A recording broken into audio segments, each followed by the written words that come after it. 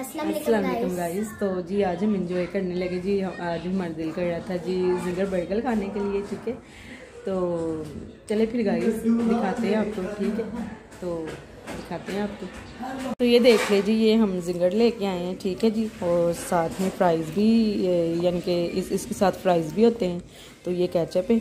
तो अभी आपको गाइस चेक करके दिखाएँगे। तो जी नैन्सी वालेकुम जी नैन्सी अस्सलाम वालेकुम करी तो अभी क्या खा रही है पहले फ्राइज फ्राइज ठीक है। एक्शन कर रही है।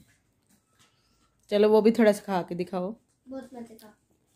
तो आज नैन्सी की फरमाइश पे हम लेके आए। तो कह रही थी हम मैंने जिंगर खाना है जी।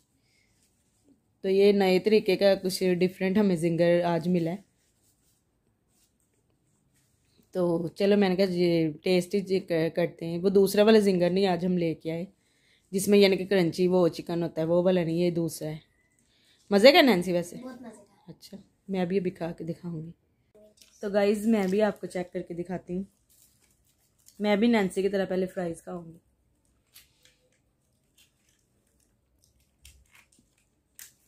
अभी आपको बर्गर खा के दिखाऊँगी। तो मैं आपको एक चीज़ दिखाने लगी हूँ। ये डबल वाला बना हुआ है ठीक है? ऊपर जी अंडा लगाया फ्राई करके म्योनिस केचप और जी नीचे ये देख ले चिकन है ठीक है? तो ये नया जी जिंगर हम लेके आए तो गाइज़ मैं भी खाने लगी हूँ फिर। चेक करने लगी हूँ।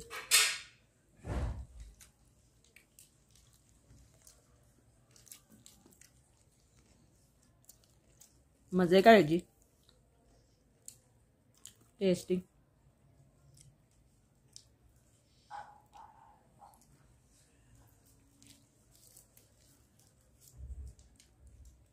तो ये थी जी छोटी सी मेरी वीडियो तो उम्मीद करती जी आपको ज़रूर पसंद आएगी। प्लीज़ जी चैनल को सब्सक्राइब करें लाइक करें एंड शेयर करें।